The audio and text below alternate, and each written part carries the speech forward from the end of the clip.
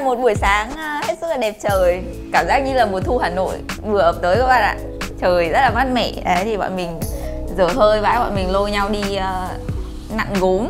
Thì hôm trước bọn mình cũng đã đến đây một lần rồi. Đây là một cái quán rất là xinh và linh cũng sẽ để địa chỉ nếu mà mọi người muốn có những cái thời gian thư giãn bên cạnh bạn bè và làm uh, những cái đồ mà nó xinh xinh ạt ạt như thế này thì mọi người có thể đến nhá. Thì hôm nay bọn mình sẽ quyết tâm phục thù tại vì mấy cái đồ hôm trước bọn mình nó, nó cũng không được đẹp lắm. quyết tâm phải phải làm cho nó thật là xịn sò lên mới được. Mà bọn mình book uh, cái phòng ở trên tầng 2 ấy, thì các chị chuẩn bị cho bọn mình rất là kỹ luôn. Có đất sét và tất cả những đồ dùng khác có cả tạp dề nhưng mà thôi mình không thích đeo tạp dề đâu. Ok bây giờ thì bọn mình sẽ bắt tay vào à, để làm những cái đồ xinh xinh trang trí ở trên văn phòng. Chị chấm điểm ai uh, cao nhất thì uh, không phải trả tiền buổi ngày hôm nay ủa? Gì vậy? Ủa là sao? Tự nhiên sáng 10 giờ dựng đầu dậy bắt tao trả tiền. Rồi hấp điểm nhất là trả hết. Let's go. Chọn chọn dễ dễ thôi. Chọn Còn có đường ra cho nó được. ngoằng vô.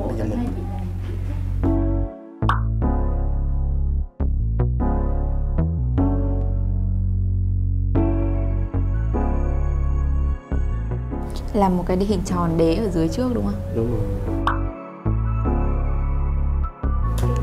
sử dụng nhiều như vậy.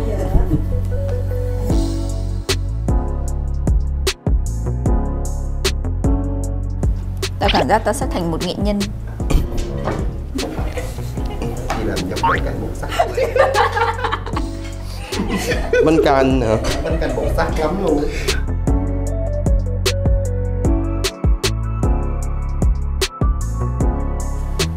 em, em phải lấy một cái hình tròn ở trong này mình đặt tay lên coi Rất phẳng.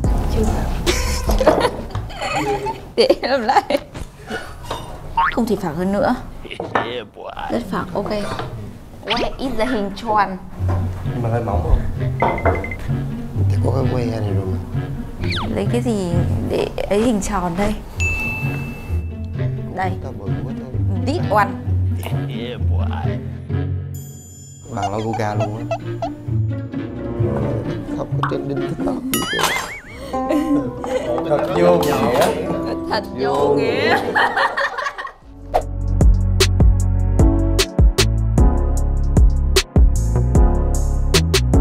Nhân dịp dạo này đang ờ, quảng cáo cho Coca-Cola rất là nhiều Thì hôm nay em sẽ xin tặng nhãn hàng một lon Coca.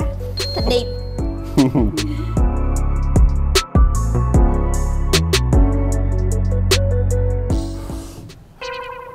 làm cái bánh pizza thật hả? thì nó cũng nguyên dưỡng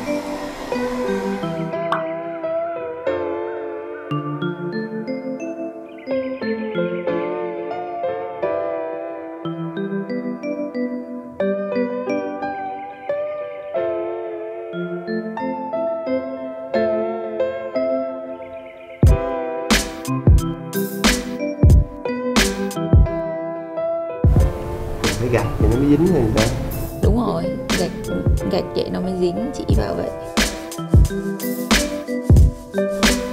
Mọi người để mình để cái hình của cái cái, cái bình của anh Khánh ở đây. Nó nó cái nó phải làm đẹp hơn anh Khánh. Ok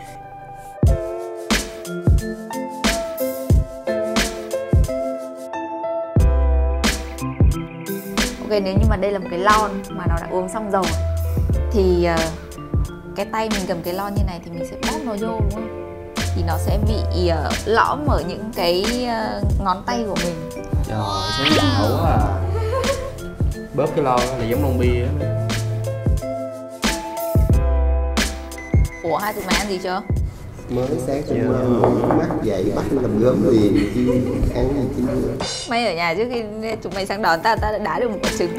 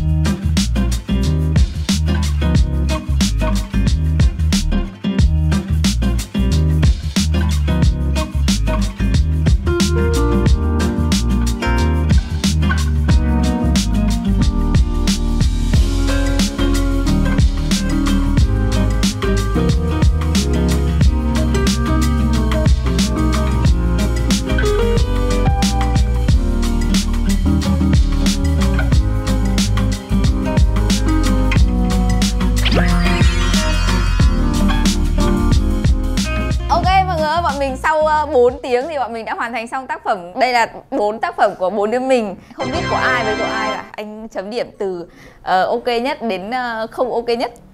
Chấm cho bọn em với.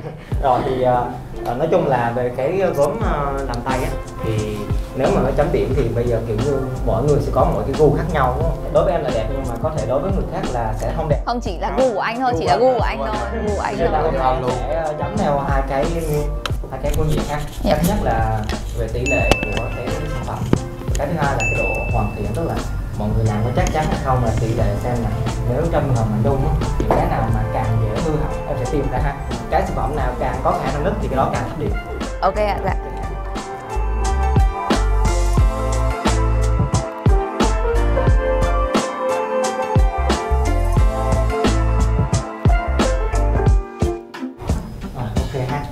phân tích cho mọi người thấy ha à, đầu tiên là đối với cái sản phẩm này thì mọi người làm một phương pháp cán ghép đúng không?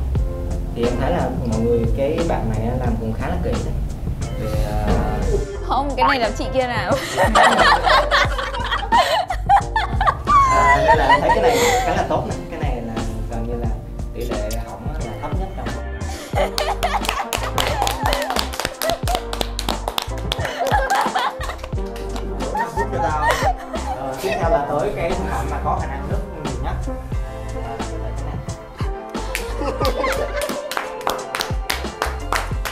giờ mình chưa tới cái lúc nó khô mà nó đã hở lên đó rồi thì tức là Khoan. cái nữa nó khô ở bên trong không có gắn vô. Lại lại. Nha Cái này là hai cái thứ tách rồi. Ok ok vậy để riêng ra. Rồi để riêng ra. Hai cái này thì thật ra là nó cũng xem xem với nhau. Nhưng mà về nếu tỷ lệ mà hư hỏng nhiều hơn thì em nghĩ là sẽ Rồi, đây là người trả tiền. Không nhưng mà anh thích cái nào nhất? Anh thấy đẹp. Cái nào đẹp nhất thì trong bốn sản phẩm này em theo đối với em em thích nhất là coca cola thì nói chung là mà cảm ơn anh cảm ơn mọi người đã hỗ trợ bọn em buổi hôm nay à, cũng à, mất khá là lâu và mất khá là nhiều thời gian. Thì đây à, gọi là cũng là những cái thành phẩm gọi là đầu tay của bọn mình. Hôm trước bọn mình cũng qua, có qua đây làm một lần rồi. Hôm nay là lần thứ hai thì hy vọng trong tương lai sẽ có dịp qua đây làm nhiều nhiều sản phẩm hơn nữa uh, đây là một cái môi trường rất là thư giãn và rất là nghệ thuật mọi người hãy đến đây nếu như mà cảm thấy cuộc sống quá áp lực nhé cảm ơn mọi người đã xem clip bye bye đi chào bye bye, bye. bye. bye.